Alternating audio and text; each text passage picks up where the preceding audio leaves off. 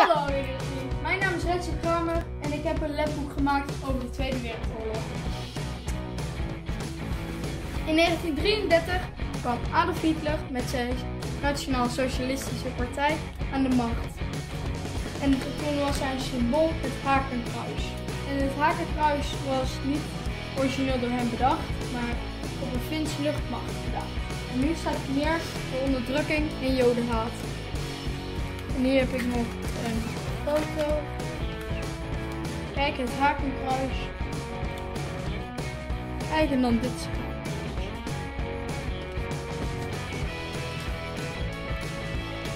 nu gaan we door, nu gaan we door naar het tweede gedeelte.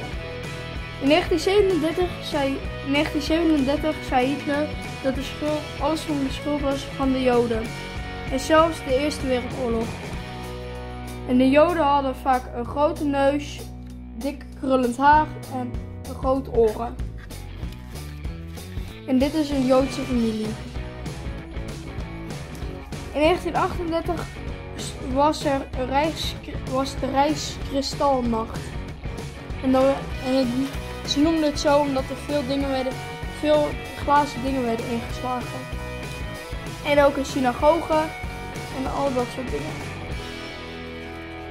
En, in negen- negen- 1939 gingen, ze, gingen de Joden uit Duitsland naar andere, alle andere landen heen. Zoals Nederland, België, Frankrijk en noem zo maar op. En in 1940 viel Hitler Nederland binnen.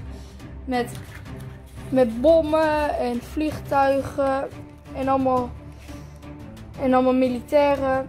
En met allemaal kanonnen nog. En ook nog allemaal kanonnen.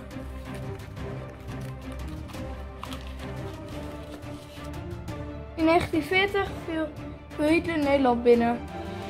En omdat hij nog niet zo snel, omdat Nederland niet zo snel zich overgaf, ging hij, ging hij bombardement doen op, op Rotterdam.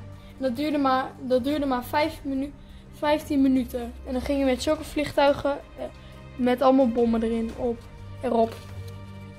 En zo zag Rotterdam er uiteindelijk uit. Helemaal in het puin. Gaan we door naar het derde gedeelte. In 1941 kregen de Joden steeds meer verbodens. Bijvoorbeeld verboden, om naar de bioscoop te gaan, verboden om te gaan vissen, verboden om naar museums te gaan, verboden te studeren, verboden te autorijden en verboden te fietsen. In 1942 kreeg iedere Jood een Jodenster en konden ze goed herkend worden. En vaak droegen die op een, op een acht. In 1943 gingen de eerste, de eerste Joden naar kampen, zoals Auschwitz, Ravensburg, Terranenstad, Bergen-Belsen en Solibor. In Nederland zijn er ook een paar kampen in Amersfoort en in Vught.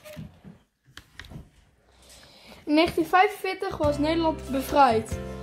En onze bevrijders waren ook wel de Fransen, de Canadezen, de Engelsen, de Amerikanen en,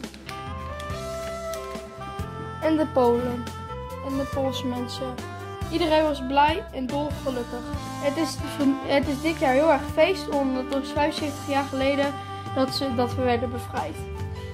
Eh, dit, dit was mijn labboek. Ik vond hem heel erg leuk om, ik vond hem heel erg leuk om te maken. Doeg!